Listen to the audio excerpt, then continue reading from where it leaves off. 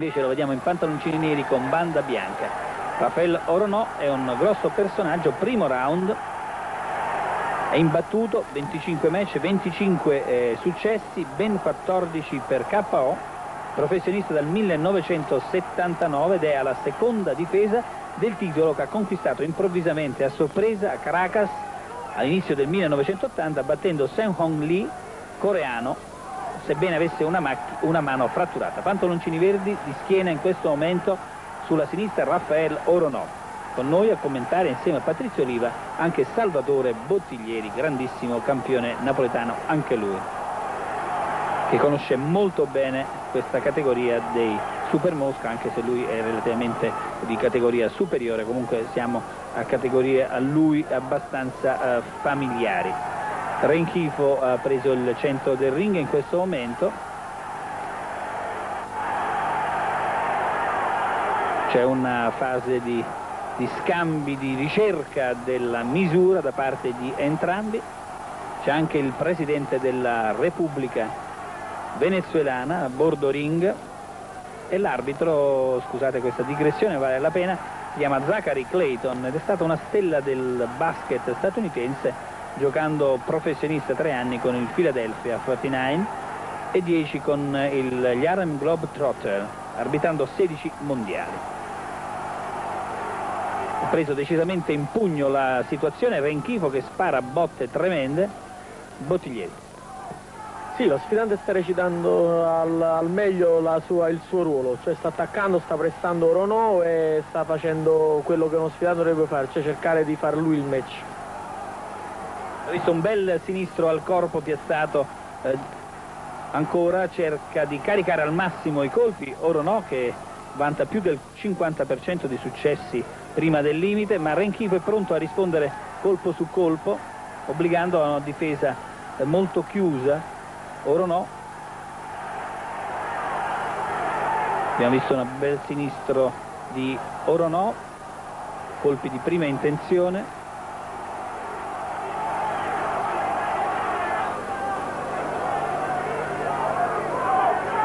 la difesa precedente del titolo mondiale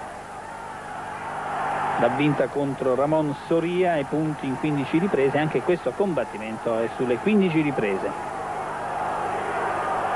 Bellissimo il destro di Renchifo mattatore in questo primo round senza nessun complesso nei confronti dell'avversario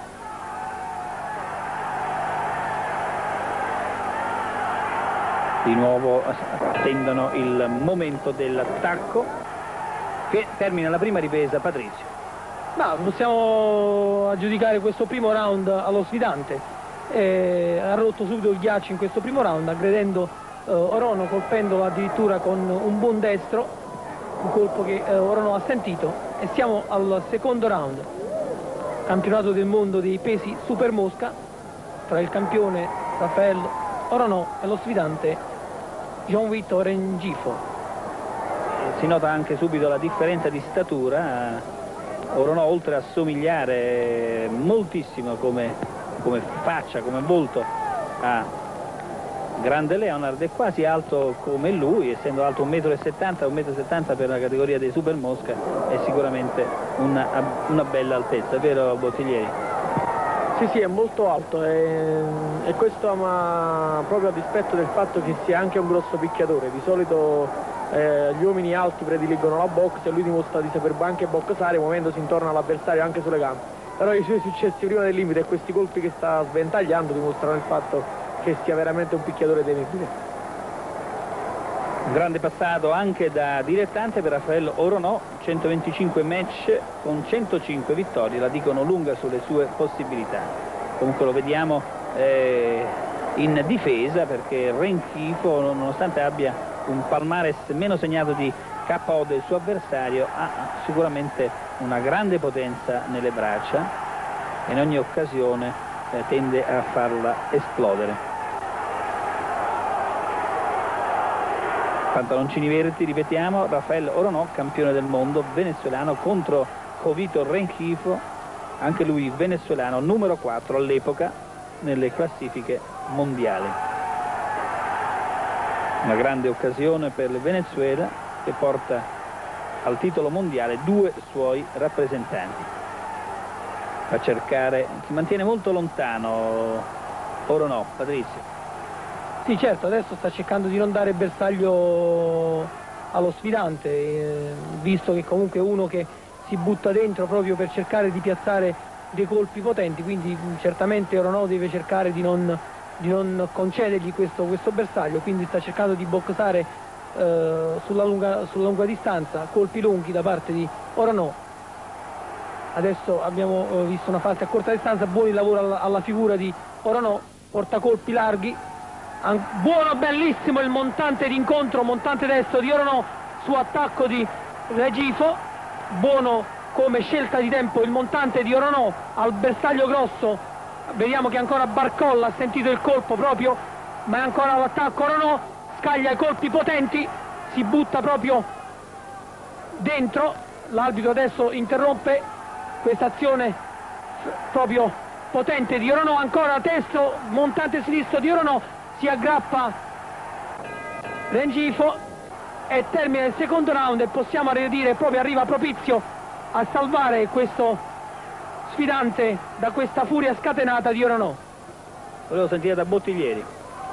Beh, penso che Oronò abbia dato una risposta a quello che prima avevo detto io, cioè mi meravigliavo come un pugile alto così e boxava in quel modo potesse essere potente. Qui ha dimostrato che ha fatto della sua potenza la precisione e la scelta di tempo. Infatti con quel colpo penso che l'abbia detta lunga su tutto. Ha avuto una scelta di tempo veramente eccezionale e poi tentava di finire Renchifo, Renchifo eh, così è riuscito a trattenere poi con l'aiuto anche del bravo Zachary eh, Clayton, quest'arbitro simpaticissimo oltretutto è riuscito a terminare la ripresa. E vediamo ora mentre i suoi secondi cercano di scuoterlo, di scuoterlo che cosa eh, riuscirà a combinare, veramente comunque un montante così è stato, eh, è, è veramente rarissimo vederlo. Sì, è stata perfetta l'azione di Oronò per scelta di tempo e precisione, un montante destro proprio alla punta del mento di Rengifo e quindi nulla ha potuto lo sfidante a, una, a un colpo così potente. Adesso Oronò sta cercando di chiudere il conto, si è lanciato sull'avversario senza fare complimenti, ancora continua, cerca in qualche maniera Renghivo di sottrarsi, legando, abbracciando, addirittura appoggiato le, le braccia sulle cosce, sulle gambe per fermare l'irruenza di Oronò che vede la possibilità di chiudere eh, in questa terza ripresa il conto di questo mondiale. Cioè la seconda difesa vittoriosa ha piazzato un colpo stupendo. Ancora il destro ancora il destro Clayton considera era pronto a accettare il conteggio. Ora no aspettando l'intervento dell'arbitro che non c'è. E l'arbitro adesso in questo momento sospende. Il match era in difesa passiva. Lo sfidante ma comunque non erano proprio colpi puliti, vediamo le, proprio la gioia di Oronò per questa vittoria ottenuta per KO. Dobbiamo dire Giacomo che comunque non erano proprio colpi pulitissimi quelli di Oronò, ma certamente colpi sostanziosi, colpi che hanno scalfito l'integrità fisica di, di Renghifo e quindi ha, ha costretto l'arbitro a fermare il match. A giudicare dalla veemenza con la quale Oronò ha cercato di chiudere il match e dall'esultanza che sta avendo adesso penso che i pugili si dovevano conoscere già prima e che l'uno temeva senz'altro l'altro e quindi questo spiegherebbe anche il perché del marcia indietro di, di Oronò pur essendo un grosso picchiatore e la, tutta quell'abnegazione all'attacco di Renchifo e comunque abbiamo assistito a uno dei più bei colpi e qui che ci sono due pugili eh, possono dire che in fondo è, il, il, quel tipo di montante, il montante è il sogno di tutti i pugili mi pare no? Proprio perché quando specie affrontano questi avversari che avanzano con la testa, che gli danno le testate, il sogno è questo montante caricato che a Oro no questa volta è andato a segno. Sì, certamente sono, sono colpi comunque veramente bisogna avere una grossa scelta di tempo per, per, portarli perché comunque sono colpi pericolosi perché il montante è un colpo che eh, nel mentre lo porti eh, ti apri tutto, tutto nella guardia mentre vediamo ancora ecco qua il destro ed eccolo qua il montante, il montante di, di Oronò